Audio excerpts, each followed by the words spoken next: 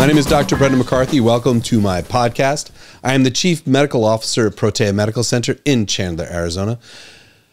I always start my podcasts with the same thing. I want you to please know that I have in the details section or the description section of this video has a complete list of works cited, things that I've researched getting ready for today's podcast. Especially today's podcast has a lot, and it's important that you know it's there because the stuff I'm going to talk about a little controversial but it is really important that you understand it and know about it. So I teased this at the last episode about how you could detoxify from aging. That's crazy talk. Can I slow down the aging process by detoxification? Actually, yeah, you can. And it's scientific and it's real. What on earth am I talking about? I'm talking about something called advanced glycation end products. And the abbreviation for it is AGE, or it just spells age. It's kind of funny. But um, you know, I was speaking to Justin, my my producer, and uh, I we had feedback that sometimes I use a lot of technical terms, and I do, and I don't want to, and I want to get better than that because I know that that's my language I use every day in my head, and that's what I read. And that's my brain is working that way. But every day I talk to patients and real people in a room with me, and sometimes I still catch myself when I get caught, or I get caught. In this case, get caught using overly technical terms. So I'm going to do my best to be clear it's not because you can't understand that term, it's because you haven't heard it. I use this analogy with my patients all the time. This is an important one is that if I went to your place of work and tried doing your job, I probably wouldn't be able to do it. Most likely, I really would not be able to do it. But if I spent time and you trained me and I learned, I could probably do it over time. It's the same thing as medicine. If you spent enough time studying, reading, getting involved in it, and you loved it, you this would come to you. It'd be like second nature. It's like that. So just when I use these complex terms, please know they just sound complex because you haven't really heard them very much. And so it's not me trying to be fancy and sound fancy because I know sometimes doctors do that. It's just this is just a language I get. So I will be more conscious moving forward to be better with those terms that I use. And then when I use them because I need to use them, I'll make sure they make sense. Okay. So advanced glycation end products, which is just one of those terms. What the heck is that? What is that? Advanced glycation end products are when sugars attach to proteins or lipids, in this case fats, um, in our bodies. And, and when this sugar attaches to it, basically making, making it candy coated, that creates something called these advanced glycation end products. Um, we use advanced glycation end products to measure inflammation and the progression of age associated diseases or degenerative diseases in a person's body. We use it to measure the progression of diabetes. We use it to uh, measure the progression of atherosclerosis, um, chronic kidney disease, Alzheimer's disease. All these things are truly um, influenced by these advanced glycation end products. So, advanced glycation end products are important when I explain this to patients in the room about advanced glycation end products, and when I try and explain it, I use this this analogy because because this analogy works. I think it works. If you take a bowl and you put egg whites in the bowl, uncooked egg whites, not the yolk, mm, egg whites only. It's slippery and and it's it's like elastic and it's like you know stringy. Oh, not stringy. What's the right word for it? It's slippery. Yeah, slippery is the best word, right?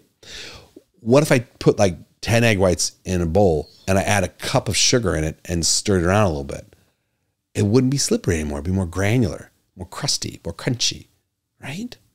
That's what's happening in your body. When you have too much sugar in your body, your body is going to end up having these advanced glycation end products that attach to proteins and fats that change their structure and their function. Another issue with this, it's not the just the structure and the function kind of is. When you mess with the function of the proteins in your body and fat, you are going to end up causing metabolic dysfunction throughout the body. And what we're going to zero in on today is that metabolic function that's getting jacked up. That's the stuff that causes chronic degeneration in the body that is associated with aging. Okay. So that's that's the key takeaway from that.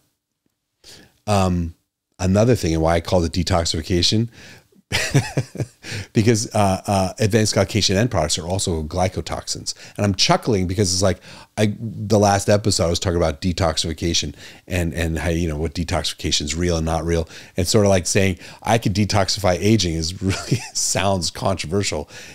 It isn't though. It isn't because glycotoxins is sugar byproducts that are living around in your body that need to get out, but they're not. They're just sitting around and it's interfering and interrupting healthy metabolism. Okay. So, so when you have these advanced glycation end products, it promotes oxidative stress, inflammation, it binds to cell surface receptors, causes cross linking with body proteins. It just basically alters the structure of everything, the way things run throughout your body and the function of your body. So, where do advanced glycation end products come from, Brendan? What is this? Where do they come from? And the first thing you think of, you heard me saying earlier, just pour a cup of sugar in a bowl of egg whites. Does eating a cup of sugar cause me to have advanced glycation end products? Absolutely. yes, absolutely. But that's not all that causes it. It's not just that. So I, I want you to know, I'm not just going this whole podcast is not me saying you can slow down aging because you can never stop and you can never cure aging that we know of yet. All right. I'm not saying that you can. You can slow it down, attenuate it, and limit it. But as me just saying, oh, just take sugar out of your diet, going to be the cure? A little bit, but not all of it. This whole podcast, trust me, it's more than just me saying, don't eat sugar. There's a lot more. Okay. The Western diet is rich with advanced glycation end products. You know, um, it's formed when foods are processed at high temperature.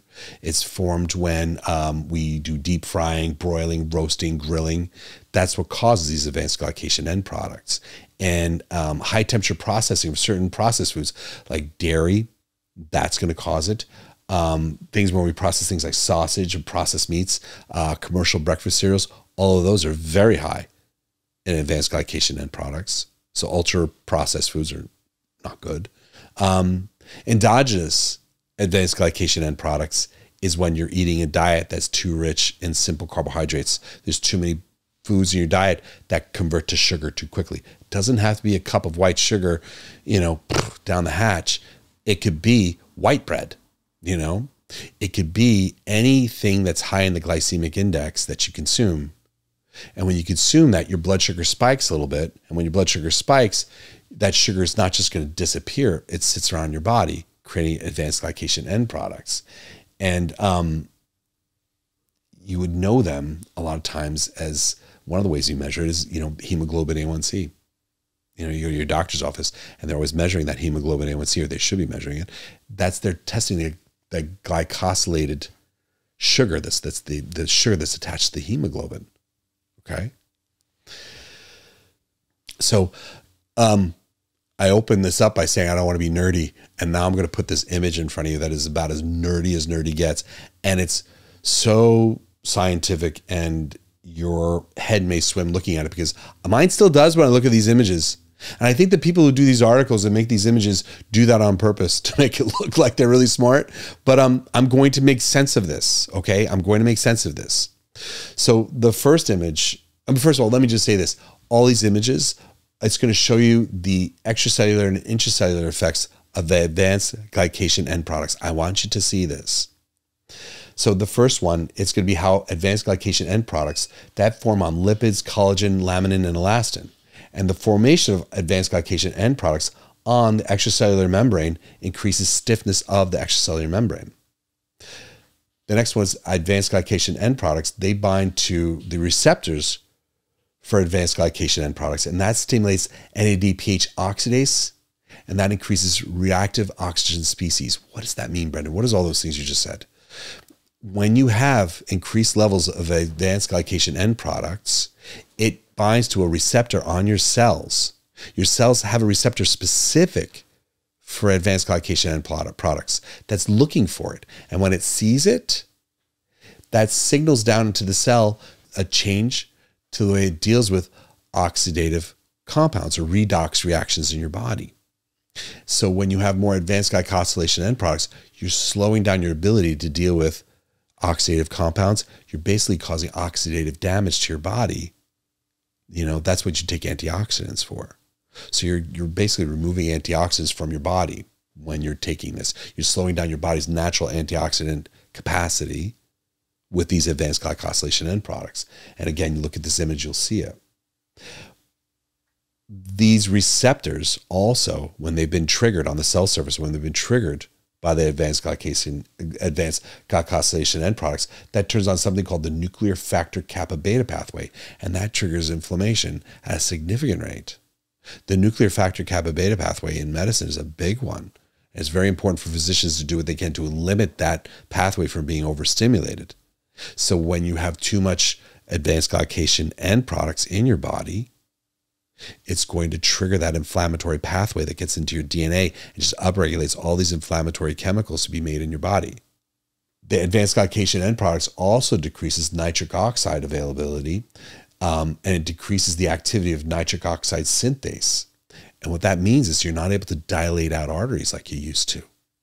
Things start to constrict. That's what nitric oxide is. Without nitric oxide or nitric oxide synthase, things can be more constricted, not as good blood flow to things. Constricted, that's that's you see that up in the brain. The brain doesn't get very good perfusion. Kidneys don't get good perfusion. You know, guys with erectile dysfunction. This is it right there. That's what I mean when people take supplements for erectile dysfunction, they're treating nitric oxide synthase with that. That's what arginine, all those things, that's what they're going after. So advanced glycation end products reducing the circulating levels of advanced glycation end products with diet and lifestyle is going to promote healthy aging and it's going to create greater longevity in my patients. I know this. I see it. I've been in practice long enough to see this. When I get someone's advanced glycation end product levels down using lab work and lifestyle, things improve. They have better flexibility or mobility. They're more physically active. There's less inflammation in their body. What holds us back? What, first of all, think about this. Who's ever talked to you about this? Who talks to you about this? Who, what, why isn't your doctor talking about how to slow down your aging? why? This is basic medicine, by the way. This is basic biochemistry. All right. This is something every doctor learned in med school in either their first or second year, depending on how their program structures their, their schedules. Right. We learn all about this ad nauseum, all of it. This is the most preventative thing your doctor can do. And the lab work for it is pennies. It's not expensive. And it's easy to do. What holds us back? Why aren't we doing this? Um, the first thing you think is that it's hard to get glucose under control. And that's true. It is sometimes hard to get glucose under control with patients. I can see that. I can see that. Um, but another one, a little bit more valid, is that no one ever explains it to you. No one ever sits down to you and explains to you, you know, by having your advanced glycation end products at this level, it's going to affect your aging this much. It's going to decrease your quality of life. It's going to limit your health span because we have our lifespan and then we have our health span. Okay. Your lifespan is how long you're going to live, but that doesn't guarantee the end of it, the last 20 years of it, has a health span, meaning you're healthy. You want to have your lifespan and health span be equal to one another. So, so it really is important for the physician to really push out your health span. This is the best way to do it. The best way to do this. So you, we don't get a lot of explanation. They don't sit down and say, "What can I eat? What I can't I eat? What what's the best way to go through this?" And and you know, a lot of people say, you know, we don't have willpower for this. But I would say, remember back in the 90s when we all collectively as a nation quit smoking. Smoking cessation went down massively, and smoking is addictive compound. It's not easy to quit. But remember, we all quit collectively. I mean, people are joining up now with vaping and stuff, but that's, but I mean, tobacco, nicotine is a very addictive compound. But the whole country collectively quit when they understood the problems that it brought to them. We all quit. So I don't think willpower is really a problem. I think it's a lack of leadership. I think it's a lack of us really understanding it and getting good guidance on it. In order to treat it, it's important that we understand how to measure it how do we measure advanced glycation end products in our bodies? The first thing we do is hemoglobin A1C. That is super cheap, super easy to test. And it is a precursor to advanced glycation end products. It's a precursor. Okay. So it's enough. That's enough to use. Another thing I'll use on top of that is going to be like a C reactive protein, which is an inflammatory marker as well. Those are my two best metrics for this that I use on the fly, easy, easy tests. How do we lower it then? how can you lower your advanced glycation end products and get some success with it? Well, the first thing you need to do is lower the glycemic index of the foods you eat. There's so many books written about this. I mean, some old ones out there is be like the South Beach Diet. Any one of those books that talk about the advanced, excuse me, that talk about your your your um um glycemic index of foods, the less extra glucose is going to be in the cells, binding to and affecting the function of those cells. So lowering your glycemic index is important. Um, increasing the intake of fruits and vegetables. it's not bad. I mean, think about this. I'm a doctor. I'm saying just eat fruits and vegetables, and you know, like don't eat sugar. It's so fundamental medicine. It really is, though, isn't it? Is it? It's not bad advice. It's not bad advice for a doctor to give you. It's not bad. So, so, okay, fruits and vegetables. Um, the decreasing ultra processed foods from your diet, decreasing to eliminating the best that you can. Okay.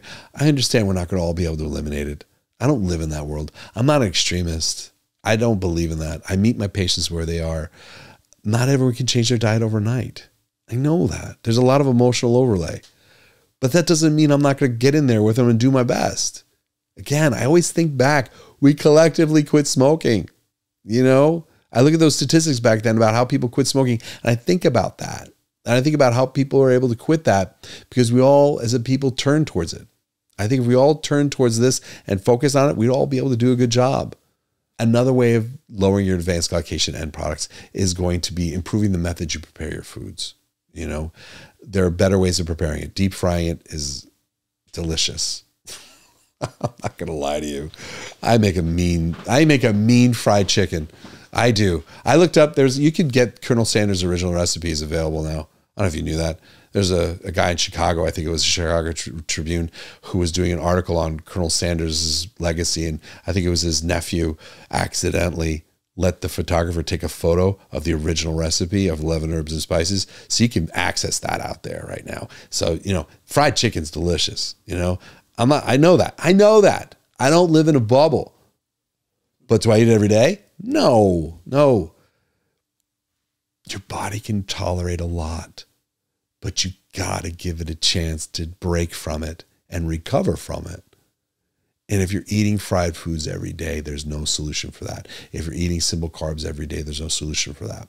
Or excuse me, there's the only solution for that is eliminating it and cutting it back down. You can't just allow that to happen without consequence. Okay? So changing the way you prepare your foods is also really important really important. And also being realistic, you know, whenever we try and make a hard, like say you're going on the road, to make a hard right turn in your health, not easy to do. Easier to make incremental changes and hold yourself accountable. When I have my patients scheduled for that, I, I schedule them for a lab review. Say you're seeing me for this and you're coming in and your hemoglobin A1C is like, you know, pre diabetic at like 5'8, 5'9 most doctors would say, You're fine. They don't even care. They'll even say, That's good. That's crazy talk. 5 2 is good. Okay. 5 2 is good. And you can do it. How I know that is because I've done it with countless patients. So, how do I do it? I sit down with them, I find out what they're eating. I maybe bring my nutritionist in the room. We have nutritionists on staff. My wife is a nutritionist that works with us. We put together what they're eating and we make slight adjustments to what they're eating in a way that they can do it and the way they can tolerate it. And then we run labs a month later. And that that follow up we see, well, how are you now? How's everything going? Let's make a couple other adjustments. And we keep making these little adjustments. And what holds them accountable is that lab I'm going to do in a month. And what holds them to it is that I didn't do an extreme makeover on their diet that's so fundamentally radically different that they can't figure it out and get their heads wrapped around it. Or that I'm not understanding the emotional connection they have to the foods they eat. I get it. So we, we make a plan that works, and that does work. So you've got to be realistic with your patients, but you also have to have a plan on getting them there, step by step by step. What else will help? This is where I'm going to get nerdy again. I was so ready with all this stuff. And um, with my presentation, I got so excited about it. And then when I met with Justin today, the producer, about what we're doing, he was like, you know, my sister was reading and listening to this. Am I okay mentioning your sister? She mentioned my sister was listening to He goes, I don't know half the stuff the guy's talking about, but it was good. I feel like I'm about to do that again to you. What's your, your sister's name? Jamie. Jamie, I'm sorry. I'm sorry. But it's important I use these terms a little bit. And I, and I promise you I'll make them make sense. But it's who says the word polyphenol? no one. No one uses that term polyphenol. I'm going to, and I have to a little bit. And there's a reason why. So polyphenols have a lot of benefits to our body. They're an important part of our biology, the things that we're supposed to take in. We're supposed to take these in. And they're compounds that are found in fruits and vegetables, polyphenols. And um, they have a lot of beneficial biological activities. It's antioxidants, anti-inflammatory. They're anti-apoptotic, uh, which means they, they, they stop cells from breaking themselves down. Um, inhibition of alpha amylase and, and glucadases, um, glucosidases, excuse me, and anti-glycation activity. That's the thing we want to have is these polyphenols have anti-glycation activity. That means that polyphenols natural compounds found in fruits and vegetables inhibit sugar attachment to proteins and fats. Why am I making all about this? Why? I'm trying to get ahead of a shortcut people would want to take. And I see it in my clinic too. Let me just take these pills that are vegetables in a pill. Let me take this vegetable in a powder. Let me take this fruit in a pill, fruit in a powder, fruit in a syrup. That doesn't work. That's not polyphenols. Polyphenols are these chemicals that naturally occur in foods that are in the food, not in the powder. You don't really extract it that way. There's an exception.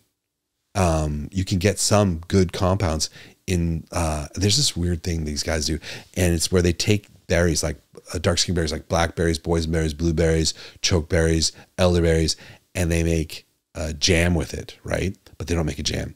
They puree it and they get and extract a syrup from it that's unsweetened. It's just the pure syrup from those berries. That's legit. That's so legit.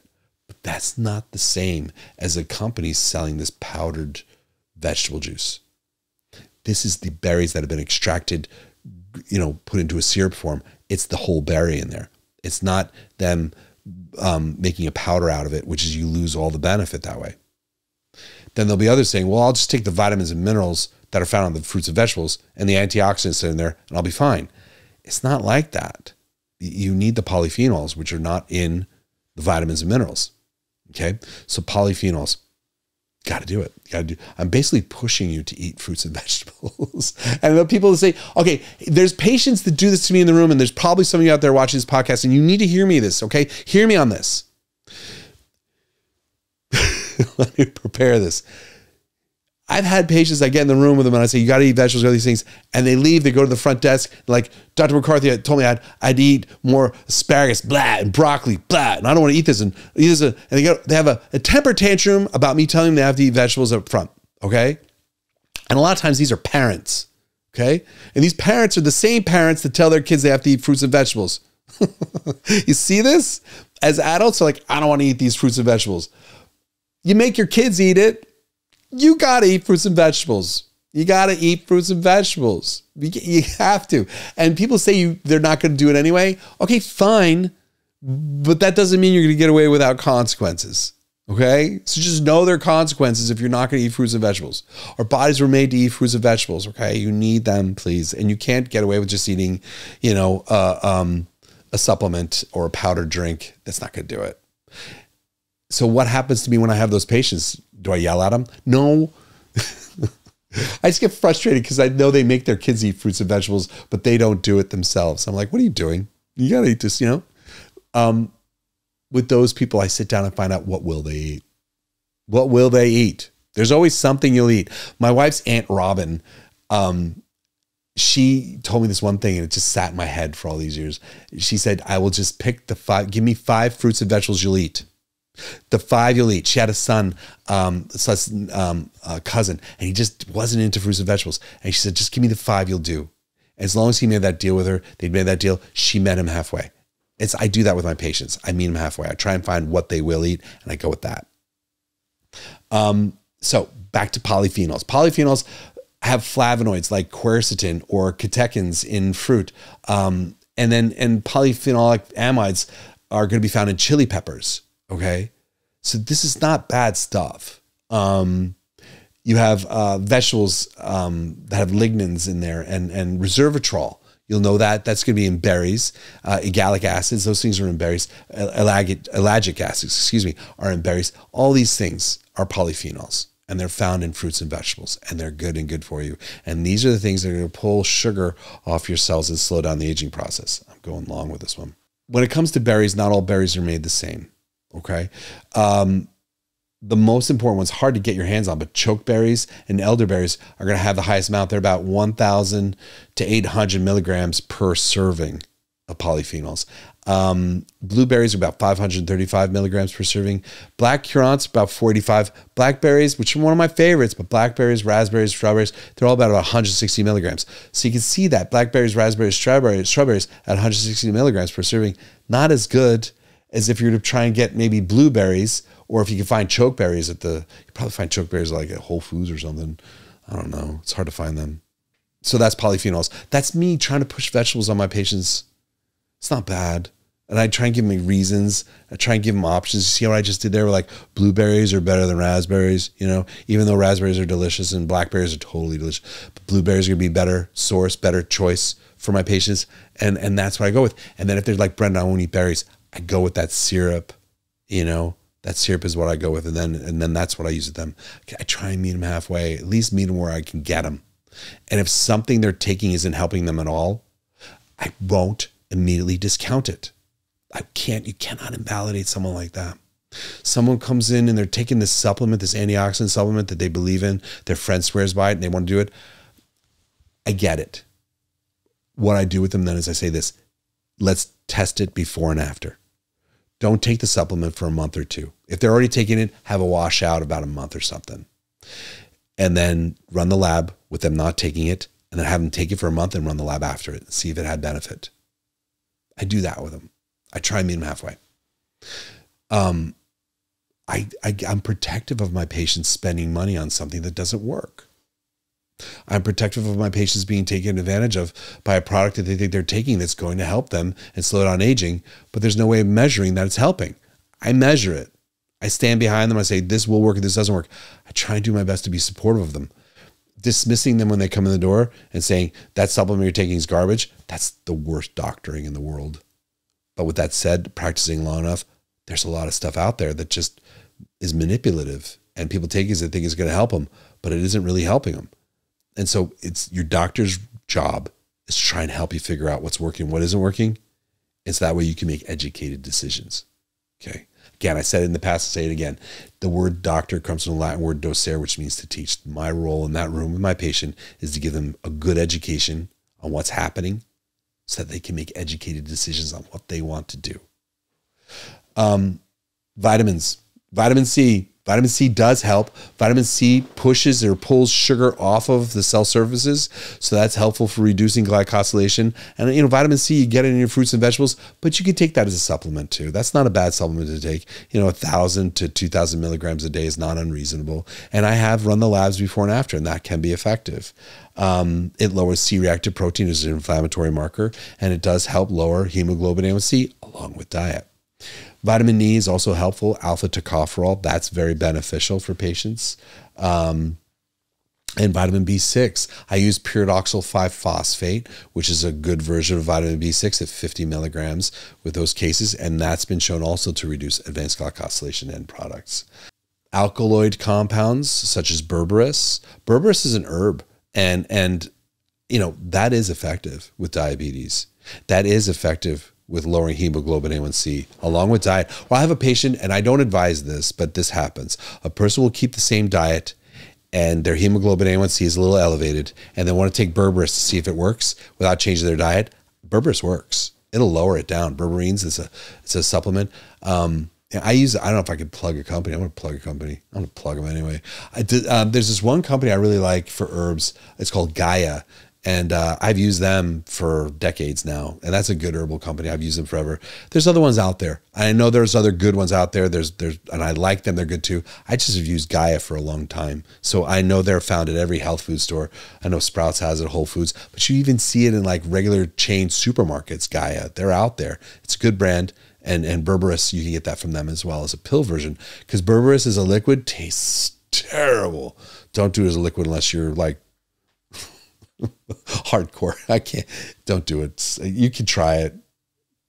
Do. Um, what about dietary? What about meat? I'm worried about getting into the whole vegetarian versus not vegetarian, the vegan versus not vegan. I'm worried about that because people have strong opinions on both sides that are valid. And I'm not trying to advocate one side or another. So I'm going to be very specific with this part.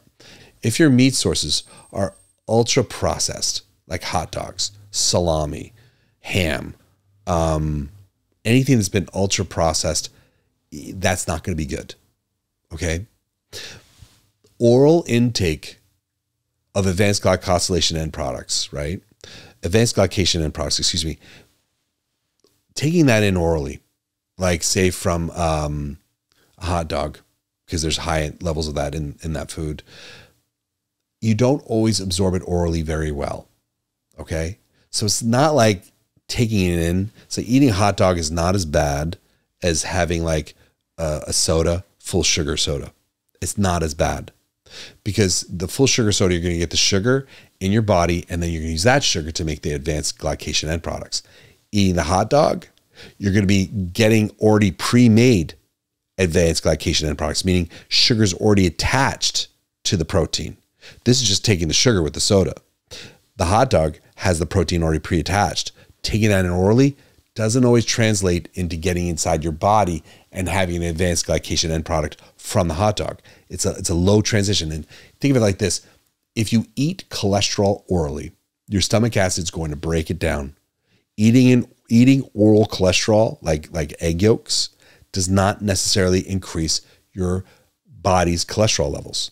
Okay. So eating advanced glycation end products in your food, which would be like sausage or like salami or like hot dogs, that doesn't always hyper increase your advanced glycation end products. It's not good for you because it's processed and a lot of the nutrition is removed. It's just not good for you. If you're going to eat proteins from an animal source, it's good to eat the actual original form of it, meaning that's a chicken leg, or that's a chicken breast, or that's a piece of fish. It's not processed, broken down into like um, another version of it where they've ground it up and added a lot of other weird things to it to make it for you. You don't want that. So when it comes to proteins, I would say stick with that. The ultra processed ones are not as good for us. That's it. I hope this is helpful. And if it is, please like, share, and subscribe. You know, I work hard at these things because I care about them. And these are subjects I get really passionate about. And I've been spending years accumulating you know articles on these stuff and and thinking about this podcast. So you know please give me feedback. Let me know because i love doing this. Thank you so much for tuning in. And uh, i'll see you next time